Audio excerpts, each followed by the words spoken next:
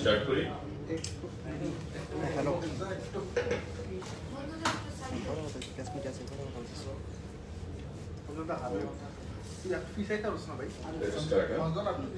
সাংবাদিক বন্ধুরা সবাইকে নমস্কার ধন্যবাদ। ক্যাবিনেট মিটিং শেষ হয়েছে আমাদের রাজ্য সরকারের। এবং বরাবরের মতোই কিছু গুরুত্বপূর্ণ সিদ্ধান্ত আজকে ক্যাবিনেটে আমরা গ্রহণ করেছি। মাননীয় মুখ্যমন্ত্রী পৌরোহিত্যে এই ক্যাবিনেট মিটিং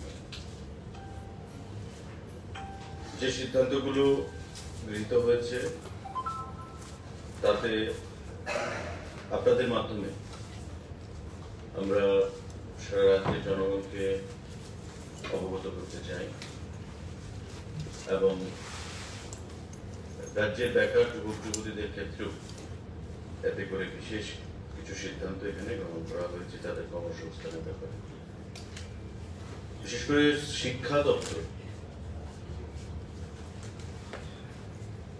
টোটাল প্রথম প্রপোজালে proposal for filling up of 340 posts তার মধ্যে দুশো ত্রিশ পোস্ট গ্রাজুয়েট টিচার এবং একশো দশ। সরি দুশো তিরিশ হবে গ্রাজুয়েট টিচার এবং একশো দশ পোস্ট গ্রাজুয়েট টিচার টোটাল তিনশো চল্লিশ। এর মধ্যে দুশো তিরিশ হবে আমাদের গ্র্যাজুয়েট টিচার এবং একশো দশ হবে পোস্ট গ্রাজুয়েট টিচার নিয়োগ করা হবে।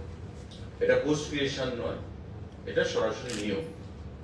অর্থ দপ্তর অনুমোদন দিয়েছে, শিক্ষা দপ্তরকে, এবং শিক্ষা দপ্তর এই পদগুলো মানে শিক্ষকের যে শূন্য পদগুলো, তিনশো চল্লিশ, যার মধ্যে আমি আবার রিপিট করছি, দুশো জন হবে গ্রাজুয়েট টিচার এবং একশো দশ জন হবে পোস্ট গ্রাজুয়েট টিচার টোটাল তিনশো চল্লিশ শিক্ষকের পদ সেখানে সেকেন্ডারি এডুকেশন স্কুল ডিপার্টমেন্ট সেখানে নিয়োগ করবে।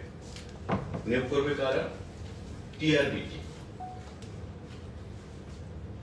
শিক্ষা দপ্তর এই আজকের সিদ্ধান্ত টিআরবিটি কে জানাবে, পাঠাবে এবং টিআরবিটি টোটাল প্রসেসটাকে ফলো করে যে ডিপার্টমেন্টের যে নিয়ম, নীতি সেগুলোকে মেনে সেই সিদ্ধান্ত তারা কার্যকরী করবে এবং তিনশো চল্লিশ জন পোস্ট টিচারে তারা নিয়োগ করবে।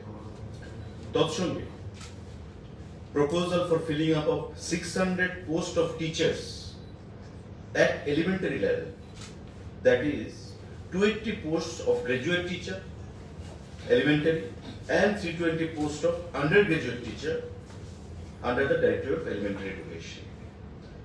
তিনশো চল্লিশ এবং সঙ্গে ছশো অর্থাৎ নশো চল্লিশ পোস্ট অফ টিচার শিক্ষা দপ্তর সেখানে নিয়োগ করতে চলেছে ত্রিপুরা রাজ্যে।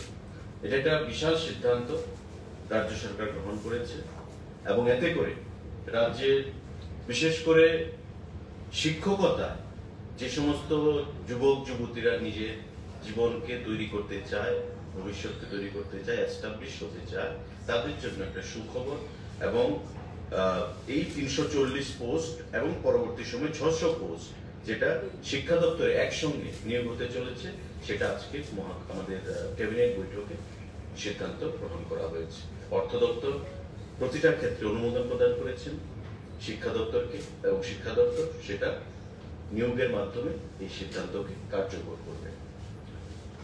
সাংবাদিক বন্ধুরা এটা গুরুত্বপূর্ণ সিদ্ধান্ত যেটা বিগত দিনেও সরকারের আমলে আপনাদের সাংবাদিকদের একটা দাবি ছিল, সাংবাদিকদের হেলথ ইন্স্যুরেন্সের ব্যাপারে। যারা অ্যাক্রিডিটেড জার্নালিস্ট আমাদের সরকার গঠিত হওয়ার পর আমরা প্রতিশ্রুতি দিয়েছিলাম যে আমরা রাজ্যের সাংবাদিকরা যারা, বিশেষ করে গরিব অংশের, ভালো চিকিৎসা করাতে পারে না, এমন অনেক সাংবাদিকরা আমরা দেখেছি, বিনা চিকিৎসায় তারা মৃত্যুবরণ করতে হয়েছে তাদের। ওই সমস্ত সাংবাদিক, তাদের কথা মাথায় রেখে আমরা একটা ঐতিহাসিক সিদ্ধান্ত রাজ্য সরকার আজকে গ্রহণ করেছি এবং ক্যাবিনেট সেই সিদ্ধান্ত আমাদেরকে প্রদান করেছে। Approval of Tripura journalist health insurance scheme two স্কিমের নাম Tripura journalist health insurance scheme two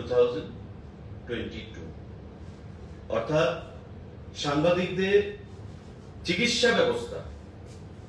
সেখানে এক বছরে তিন লক্ষ টাকা পর্যন্ত আমরা সিদ্ধান্ত নিয়েছি।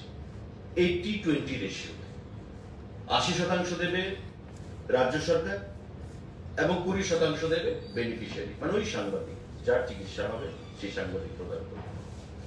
এক বছরে তিন লক্ষ টাকা এইটি পার্সেন্ট প্রদান করবে রাজ্য সরকার টোয়েন্টি পার্সেন্ট প্রদান করবে বেনিফিশিয়ারি আজকে এই সিদ্ধান্ত একটা ঐতিহাসিক সিদ্ধান্ত, গুরুত্বপূর্ণ সিদ্ধান্ত এবং এতে করে সংবাদ জগতে আমরা বারবার বলেছি যে আমাদের সরকার সাংবাদিক বান্ধব সরকার।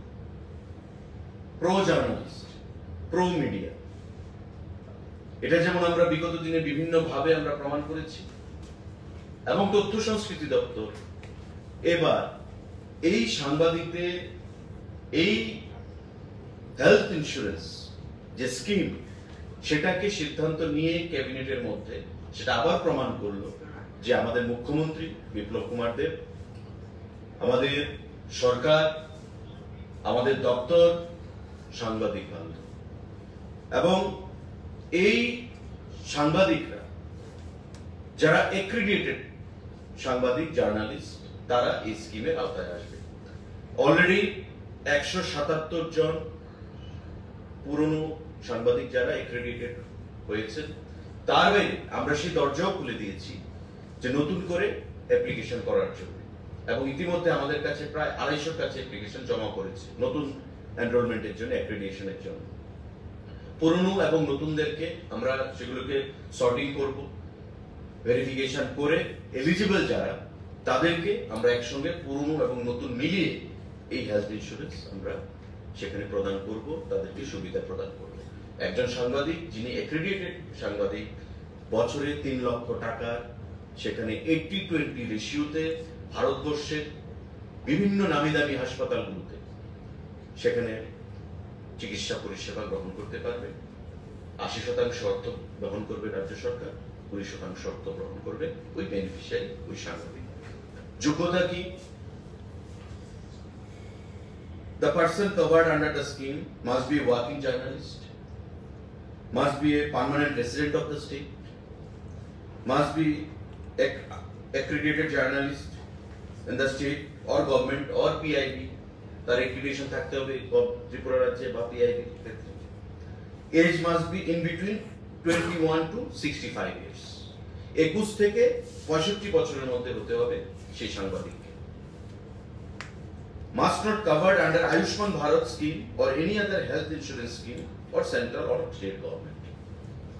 রাজ্য সরকারের বা কেন্দ্রীয় সরকারের কোন ধরনের হেলথ ইন্স্যুরেন্স স্কিমে আগে থেকে তার নাম থাকতে পারবে না। বা আয়ুষ্মান ভারত যে আমাদের কেন্দ্রীয় সরকারের যে প্রকল্প, সেই আয়ুষ্মান ভারতের বেনিফিশিয়ারি সে হতে পারবে না। তবেই সে, আমরা তথ্য সংস্কৃতি দপ্তর থেকে রাজ্য সরকার যে আজকে আমরা হেলথ ইন্স্যুরেন্স ঘোষণা করেছি, তার কাভারেজে সে আসবে। এবং তিন লক্ষ টাকা হচ্ছে টোটাল বছরে। আমরা তিন লক্ষ টাকা পর্যন্ত আমরা বিয়ার করব। আশি শতাংশ রাজ্য সরকার এবং কুড়ি শতাংশ বেনিফিশিয়ারি এটা দীর্ঘদিন ধরে ঝুলন্ত অবস্থায় ছিল। আজকে সেটাকে ক্যাবিনেট ক্লিয়ার করেছে। এবং এতে করে আমরা মনে করি যে ত্রিপুরা রাজ্যের প্রত্যন্ত অঞ্চলগুলোতে আগরতলা শহরে যে সাংবাদিক বন্ধুরা আপনারা জীবন বাজি রেখে যে খবর সন্ধানে আপনারা থাকেন সবসময়, গণতন্ত্রের চতুর্থ স্তম্ভ হিসাবে সেটা আগামী দিনে আপনাদের জীবনের যে সুরক্ষা, সেই সুরক্ষাটা রাজ্য সরকার, তথ্য সংস্কৃতি দপ্তর আমরা প্রদান করতে পারলাম। এটা আমাদের প্রতিশ্রুতি ছিল যে আমরা সেটা প্রদান করব আপনাদেরকে। দীর্ঘদিন ধরে ম্যাটারটা অনেক প্রশাসনিক জটিলতার মধ্যে আবর্তিত হচ্ছিল। কিন্তু আজকে ফাইনালি আমরা সেই সিদ্ধান্ত গ্রহণ করেছি, আপনাদের মঙ্গলের জন্য, আপনাদের আগামী দিনে যে সাংবাদিকতা, যে পেশা একটা নোবেল প্রফেশন এই যে একটা সুন্দর পেশা, সেটাতে যাতে আপনারা সুরক্ষিত থেকে, আপনারা জীবনকে সুরক্ষিত রেখে আপনারা যেন এই প্রফেশন করতে পারেন, তার জন্য আমাদের রাজ্য সরকার সেই সিদ্ধান্ত আমরা গ্রহণ করেছি তথ্য সংস্কৃতি দপ্তরের তরফ থেকে। আমরা এর মধ্যেই টেন্ডারে যাব। বিভিন্ন কোম্পানিকে আমরা আহ্বান জানাব। যারা এলিজিবল কোম্পানি থাকবে, আমরা দেখব কোন কোম্পানির সঙ্গে ভারতবর্ষে কোন কোন হাসপাতালে সেখানে টাই আপ রয়েছে। বড় বড় যে হাসপাতালগুলো রয়েছে, সেই হাসপাতালগুলোর সঙ্গে আপনারাও জুড়ে যাবেন এই আমাদের স্কিম পাস হওয়ার পর থেকে এবং আগামী দিনে আপনাদের সুরক্ষার দিকটা বিবেচনা করে আমরা এই ঐতিহাসিক সিদ্ধান্ত আজকে গ্রহণ করেছি আমাদের ক্যাবিনেটে আপনাদের প্রত্যেককে আমরা মুখ্যমন্ত্রীর তরফ থেকে আমার ব্যক্তিগত তরফ থেকে সরকারের তরফ থেকে দপ্তরের তরফ থেকে অনেক অনেক অভিনন্দন জানাচ্ছি। সাংবাদিক বন্ধুদেরকে যারা এই পেশায় যুক্ত রয়েছে আগামী দিনে আপনারা এই সুযোগ গ্রহণ করবেন সেটাই আশা রাখছি। না ফ্যামিলি আসবে না। কনসার্ন পার্সন যে সাংবাদিক সেই কনসার্ন পার্সন এফেক্ট খুব শর্টলি হবে আমরা আহ, আজকে সিদ্ধান্ত হলো এখন আমরা টেন্ডার ডাকবো এই টেন্ডারে সমস্ত আমাদের যে কোম্পানি আসবে ইন্স্যুরেন্স কোম্পানি রাজ্য সরকার কোম্পানির সঙ্গে তো এগ্রিমেন্টে যাবে। সেই এগ্রিমেন্ট যখন পূরণ হবে, সেই তখন এটা এফেক্টিভ হয়ে যাবে ভেরি শর্টলি আমাদের এটা খুব চ্যালেঞ্জিং ছিল। ধরুন টেন্ডার ডাকবো, আমরা টেন্ডার পনেরো বিশ দিন সময় লাগবে। প্রসেস করতে আরও এক মাস আমরা ধরে নিলাম। এক দু মাসের মধ্যে থেকে আমরা আশা করছি এটা আমরা এফেক্ট করে দিতে পারব। তাদের কিছু করার দরকার নেই। যারা নিউ কামার আমরা আলাদাভাবে মিটিংও করেছি স্টেট গেস্ট হাউসে আপনারা নিশ্চয়ই জানেন। এবং সেই মিটিং এ একটা প্রপোজাল এসেছিল যে যারা এক্সিস্টিং যারা অলরেডি রয়েছে তাদেরকে কেন কভারেজ দেওয়া হচ্ছে না? তখন আমরা বলেছি যে না আমরা যখন একসঙ্গে দেব। এবং এই যে ফেজটা আমরা যখন যোগ করব ধরুন আড়াইশো আমাদের অ্যাড হয়েছে অ্যাপ্লাই করেছে ফ্রেশ তাদের থেকে আমরা যারা আমরা ভেরিফিকেশন করে সমস্ত কিছু those will be eligible will enrol then এই ওয়ান সেভেন্টি সেভেন প্লাস ধরুন নতুন দুশো এলো বা দুশো কুড়ি এলো তাদেরকে আমরা ইন ওয়ান গো আমরা এনরোল করে নেব। তারপর it will be continuous process যাদের অ্যাক্রিডিয়েশন থাকবে, যারা অ্যাপ্লাই করবে, যে হাউস থেকে, যে আমার এই স্টাফকে অ্যাক্রিডিয়েশন দেওয়া হোক, বা আমরা গভর্নমেন্টের কাছে ডিপার্টমেন্টের কাছে সে পাওয়ার থাকবে সেক্রেটারি হেডেড বাই সেক্রেটারি একটা কমিটি রয়েছে, তারা অ্যানালাইসিস করবে যে কাকে দেওয়া উচিত, কাকে দেওয়া উচিত না। এবং তারপর তারা সিদ্ধান্ত নিয়ে সেটা আমরা দিতে পারব। দপ্তর ইচ্ছা করলে কাউকে বাদও দিতে পারব, কাউকে আমরা ঢোকাতেও পারব। সেই বিষয়ে আমরা একটা প্রভিশনও রেখেছি। তো আমরা চাইছি যে আমাদের টার্গেটটা আরও বেশি, এক হাজার। ত্রিপুরা রাজ্যে আপনারা নিশ্চয়ই জানেন যারা সাংবাদিকতার সঙ্গে যুক্ত রয়েছেন বন্ধুরা, যে এক হাজার সাংবাদিক হবে কিনা সেটা আমার সন্দেহ রয়েছে। কিন্তু আমরা টার্গেট রেখেছি এক হাজার। যাতে কোনো সাংবাদিক বাদ না যায় অ্যাক্রেডিয়েশন অ্যাক্রেডিয়েটেড সাংবাদিক। কারণ যে কেউ এসে দাবি করবে, সেটা তো দেওয়া যাবে না। তাই অ্যাক্রেডিটেড জার্নালিস্ট হতে হবে এবং একটা কন্ট্রিবিউশন যেন থাকে। আমরা চেয়েছিলাম যাতে একশো শতাংশ ফ্রি করা যায়, কিন্তু ভারতবর্ষের কোথাও এই প্রেসিডেন্স বা এই ইনস্টেন্স নেই যে একশো শতাংশ ফ্রি তাই একটা সামান্য একটা কন্ট্রিবিউশন আপনাদের থেকে। যেমন ধরুন যদি বছরে পাঁচ হাজার টাকা প্রিমিয়াম আসে পার ব্যক্তি, তবে চার হাজার টাকা মানে এইটি পার্সেন্ট গভর্নমেন্ট দেবে। এক হাজার টাকা বছরে আপনি দেবেন, বা সাংবাদিক বন্ধু দেবে বছরে এক হাজার টাকা কন্ট্রিবিউট করা টোয়েন্টি পার্সেন্ট হিসাবে এটা কোনো বড় ব্যাপার নয়। তাই তারপরে মনে হবে যে আই এম স্টেক হোল্ডার আপনার যেন এটা ফিল হয় যে আমি আই এম স্টেক হোল্ডার তার জন্য রাজ্য সরকার এই সিদ্ধান্ত আমরা গ্রহণ করেছি। এবং আমরা আশা করব এতে করে সাংবাদিক বন্ধু, সাংবাদিক যে ফ্রেটার্নিটি তারা এটা বিশেষভাবে উপকৃত হবে। এবং চিকিৎসার জন্য যে একটা কনসার্ন যে একটা তাদের যে টেনশন সে থেকে তারা নিজেকে রক্ষা করতে পারবে এবং তিন লক্ষ টাকা দিয়ে বছরে সে চিকিৎসা পরিষেবা তারা গ্রহণ করতে পারবে আপনাদের প্রত্যেককে আমার মুখ্যমন্ত্রীর তরফ থেকে আমার ব্যক্তিগত তরফ থেকে সরকারের তরফ থেকে অনেক অনেক অভিনন্দন জানাচ্ছি অনেক অনেক শুভেচ্ছা জানাচ্ছি যদি পাঁচ লাখ টাকা হয় যদি পাঁচ লাখ টাকা হয় সেক্ষেত্রে মানে সর্বোচ্চ The extra amount has to be borne out by the beneficiary. The maximum limit is 3 lakh. In 80-20 ratio. Twenty percent 20% has to be borne out by the beneficiary, 80% will be by the government.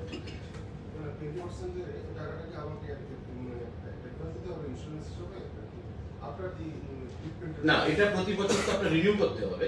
এখন ধরুন প্রতি বছর আপনার total premium এলো five thousand to an example five থাউজেন্ডের আপনার twenty percent কত? এক হাজার টাকা। এক হাজার টাকা বেনিফিশিয়ারি মানে আপনি দেবেন। আর চার হাজার টাকা যেটা এইটি পার্সেন্ট সেটা রাজ্য সরকার দেবে, ওই কোম্পানিকে দেবে। এখন আপনার ট্রিটমেন্ট হলো ধরুন। ট্রিটমেন্টে তিন লাখ পর্যন্ত যে বিলটা এলো, সেটা আপনি তো বছর বছর দিয়ে যাচ্ছেন। তখন ওই ইন্স্যুরেন্স কোম্পানি সেটাকে বিয়ার করবে। আপনি ক্লেম করবেন। এখন দেখুন, বাইরের একটা অ্যাপেলো গ্রুপ আপনি অ্যাপেলোতে ট্রিটমেন্ট করাতে গেলেন। ওরা দেখুন জিজ্ঞাসা করবে বা ফর্ম ফিল আপের সময় যখন আপনি এন্ট্রি নেবেন। যে আপনার ইন্স্যুরেন্স রয়েছে কিনা, না আপনি ক্যাশে পেমেন্ট করবেন, না কার্ডে পেমেন্ট করবেন। আপনি বললেন যে আমি ইন্স্যুরেন্স রয়েছে তখন বলবে যে ডিটেলস দিন। তা আপনি দেবেন, আমি এই কোম্পানি ইন্স্যুরেন্স রয়েছে আমার। তখন ওই কোম্পানি অ্যাপেলোকে পেমেন্ট করবে। আপনাকে পেমেন্ট করতে হবে না। To the limit of three lakh in eighty twenty ratio এটা ভারতবর্ষে কোথাও রয়েছে বলে আমাদের মনে হয় না। প্রত্যেক, যদি কোথাও থেকে থাকে fifty fifty ratio sixty forty ratio কিন্তু সাংবাদিক বান্ধব কতটুকু তার পরিচয় আমরা কাজের মাধ্যমে দিয়েছি, সেটা আমরা আগেও দাবি করেছিলাম যে আমরা সাংবাদিক বান্ধব এবং তথ্য সংস্কৃতি দপ্তর, সেটা আমরা প্রমাণ রাখতে পেরেছি, মাননীয় মুখ্যমন্ত্রীর ঐকান্তিক প্রচেষ্টা আমরা সেই জিনিসটা আমরা করতে পেরেছি। আপনাদের সবাইকে আবার অনেক অনেক অভিনন্দন এবং শুভেচ্ছা জ্ঞাপন করছি। সাংবাদিক বন্ধুরা, গুরুত্বপূর্ণ সিদ্ধান্ত আমাদের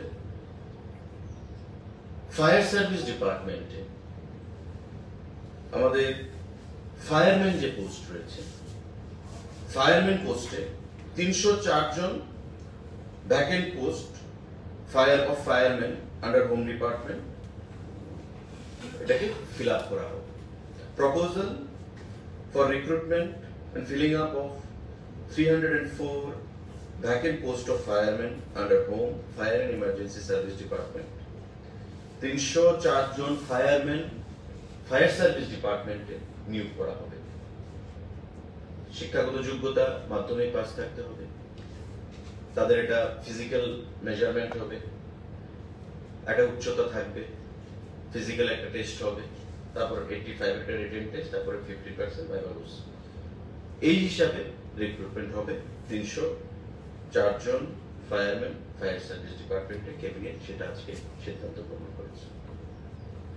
একই দপ্তরে পঁচিশ জন twenty five vacant post of driver পঁচিশ জন ড্রাইভার নিয়োগ করা হবে fire service, fire and emergency service দপ্তরে। পঁচিশ জন ড্রাইভার এবং তিনশো জন ফায়ারম্যান ফায়ার সার্ভিস দপ্তর সেখানে নিয়োগ করা হবে। আজকে ক্যাবিনেট মিটিংয়ে সেটা গুরুত্বপূর্ণ সিদ্ধান্ত গ্রহণ করা হয়েছে। পুলিশ এবং পিএসআর বন্ধু। যারা রয়েছেন,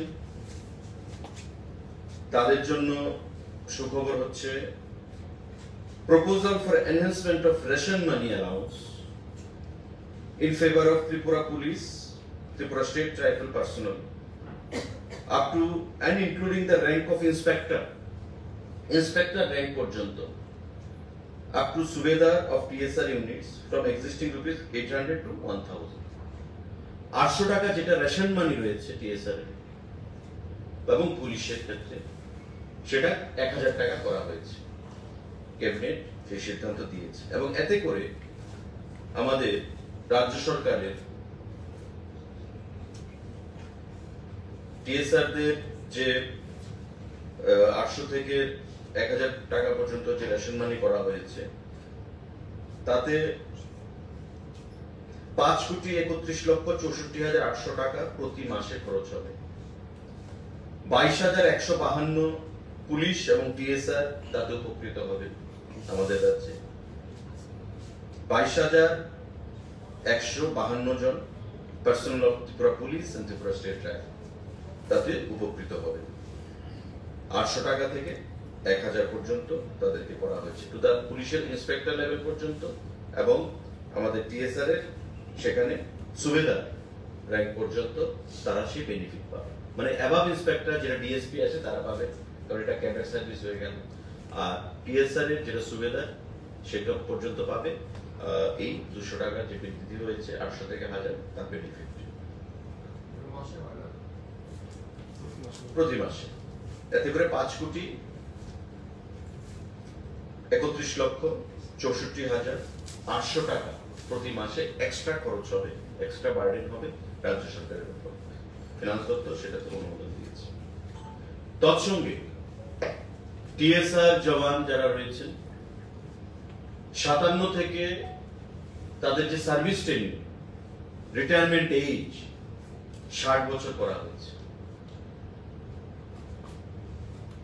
আমাদের proposal for enhancing of superannuation age in respect of TSR personnel under home department.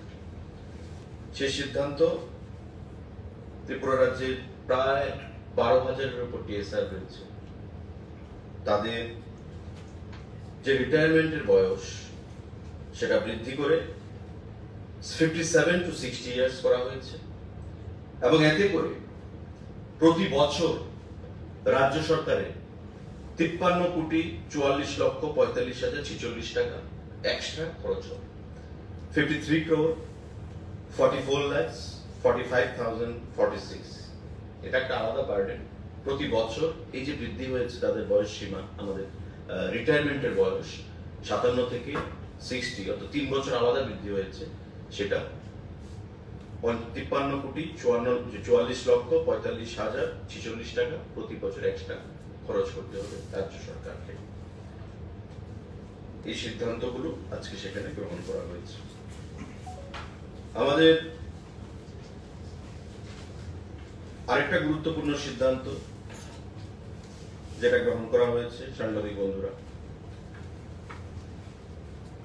Exemption of stamp duty payable by self-help groups while taking loan from bank under revenue department. Revenue দপ্তর আমাদের রাজ্যে যে বিভিন্ন self help গ্রুপগুলো রয়েছে,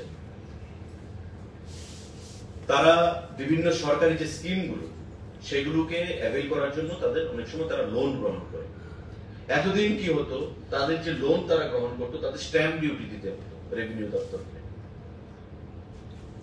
রাজ্য সরকার সিদ্ধান্ত নিয়েছে revenue দপ্তর যে এই যে স্ট্যাম্প ডিউটির যে সিস্টেমটা সেটাকে উইথড্র করতে to the limit of ten lakhs মানে দশ লক্ষ টাকা অব্দি যদি কারা কেউ সেলফ গ্রুপ লোন নিতে চায়, তাদেরকে কোনো ডিউটি রেভিনিউ সেখানে স্ট্যাম্প ডিউটি দিতে হবে না।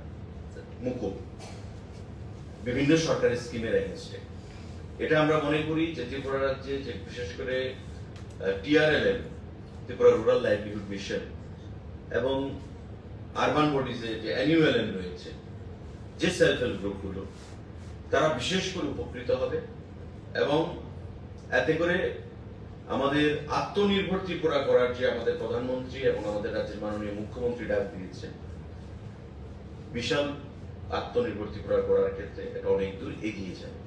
কারণ যে স্ট্যাম্প ডিউটি তাদেরকে দিতে হতো লোন নেওয়ার ক্ষেত্রে সেটা একটা বিশাল অঙ্ক তাদের পকেট থেকে দিতে হতো। আজকে সেই টাকাটা বুকুব করে দেওয়া হয়েছে দশ লক্ষ টাকা পর্যন্ত। দশ লক্ষ টাকা পর্যন্ত যদি কেউ লোন নিতে চায়, রাজ্য সরকারের বিভিন্ন স্কিমের এগেনস্টে তবে তাকে দশ লক্ষ টাকা পর্যন্ত কোনো স্ট্যাম্প ডিউটি প্রদান করতে হবে না। এই সিদ্ধান্তগুলো আজকে আমাদের ক্যাবিনেটে গ্রহণ করা হয়েছে, সাংবাদিক বন্ধুরা। কারোর যদি কোনো প্রশ্ন থেকে থাকে, আপনারা আজকের ক্যাবিনেট বৈঠকের উপর সেটা আপনারা আমাদেরকে multiple, personal. Please feel free to ask any question. Sir, there, was a, uh, there was a message from your office uh, regarding some uh, fraudsters. What is the uh, what is the matter? Yes, yes. I already talked with the SP West. He has registered a case in this regard. Uh, since morning, this morning, a screenshot was on the air it was roaming across. Uh, somebody, uh, I don't know the person, concerned person. He must be from outside. A fake ID was created under my name who was having telephonic conversation with various people across the state asking money. Okay, so it was brought to my notice. Immediately I took up the matter with Home Secretary as well as SP West. and SP West assured me of all cooperation and accordingly registered a case. Finally, after private investigation, it was found that uh, the accused person is operating the uh, number from Kerala. It's a Kerala based number. I don't know the whereabouts of the concerned person. It is the matter of the police to look into. I have entrusted SP West and he will take lawful action. And subsequently, uh, so that people do not get confused, uh, I think it's a deep-rooted cons- conspiracy also to malign me and to tarnish my political image, my social status. I, uh, from my personal Facebook ID, have given a clarion call to the people of the state not to go misguided by this fraudulent approach and to and not to transfer any amount to anybody. So that much I can say. What is the progress of the investigation? Police should be in a better position to know it. No, I mean I was about to write a letter. I mean lodge an FIR, then SP West has taken cognizance of the state and he has confirmed me that he has registered a case on police, SP West.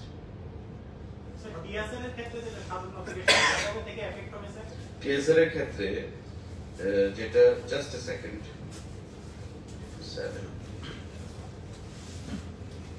সেটা আমাদের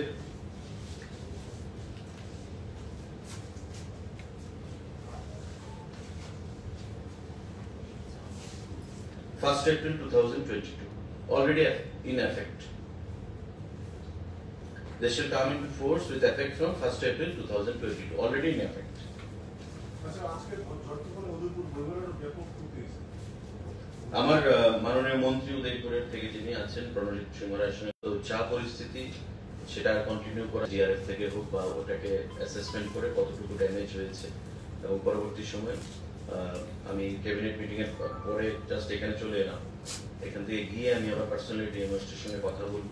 যে assessment report কি? বা কি সরকার তাদের পাশে রয়েছে ওখানকার স্থানীয় মন্ত্রী পাশে রয়েছে, পৌর পরিষদ পাশে রয়েছে, এবং আমরাও খুব সিম্পেথাইজড কিন্তু নেচারের সঙ্গে কেউ চ্যালেঞ্জ করতে পারবে না। অনেকগুলো, আমি নিজের ছবিগুলো দেখেছি যে টোটালি মানে স্টলগুলো যে রয়েছে তো সেই ক্ষেত্রে আবার দাঁড়িয়ে তাকে নতুন করে বইমেলা যে শুরু হবে, আমরা শুরু করছি তিন দিন আগে। আগামী দুদিনের মধ্যে এটা কমপ্লিট হওয়ার কথা কনক্লুড হওয়ার কথা আর কন্টিনিউ করা যাবে এটাকে সমাপ্ত করে ঘোষণা করে দেওয়া খুব কুড়িখানার মতো স্টল ক্ষতিগ্রস্ত হয়েছে ষোলো থেকে কুড়িখানা এমন হবে। জ্বর সংক্রান্ত তো বই মেলাতে আবার সিপাহী জেলাতে হবে এখন নতুন কারণ আপনারা জানেন যে এবারই প্রথম যে তথ্য সংস্কৃতি দপ্তরের উদ্যোগে আমরা জেলাভিত্তিক বই মেলাগুলো করছি ঊনকোটি উত্তর জেলা, ধলাই জেলা, খোয়াই জেলার পর এবং আগরতলাতে আমাদের বই মেলা হয়েছে বারো দিন ব্যাপী। তারপর সাউথ ত্রিপুরা এবং আমরা গুমতি শুরু হয়েছিল, সেখানে আমি উপস্থিত ছিলাম। সিপাহী জেলাটা বাকি রয়েছে। কিন্তু গুমতিতে যেটা হয়েছে উদয়পুরে, সেটা কোনো জেলাতেই সেখানে হয়নি। তো আমরা তাদের পাশে রয়েছি, ব্যবসায়ীদের পাশে, এবং তাদেরকে যতটুকু আমাদের সরকারের তরফ থেকে ক্ষতি প্রদান করা যায়, ক্ষতিগ্রস্ত বা সুবাদে আমরা সেটা প্রদান করব আর ঝড়তুফানে কত ক্ষতি হয়েছে সেগুলো কোনো অ্যাসেসমেন্ট আপনারা আছে না সেটা আমাদের কাছে নেই ডিএমদের কাছে থাকবে। তথ্য সংস্কৃতি দপ্তর রিলেটেড যেটা আপনি মানে প্রশ্ন করলেন সে বিষয়ে আমি আপনাকে বলব। বৈঠকে আজকে ডিএ সংক্রান্ত নিয়ে কোনো কিছু যখন ডিএ হবে তখন জানিয়ে দেওয়া হবে। ক্যাবিনেট বৈঠকে প্রতি বৈঠকের পর ব্রিফিং দেওয়া জানিয়ে দেওয়া হবে। ডিএ হবে রাজ্য সরকারের মাথায় রয়েছে অর্থেরও যোগান দিতে হবে। তো যখন হবে নিশ্চয়ই কর্মচারীদের বন্ধুদের উদ্দেশ্যে জানিয়ে দেওয়া হবে। থ্যাংক ইউ সাংবাদিক ওই বন্ধুদের অনেক অনেক ধন্যবাদ এবং অনেক অভিনন্দন। For health insurance scheme.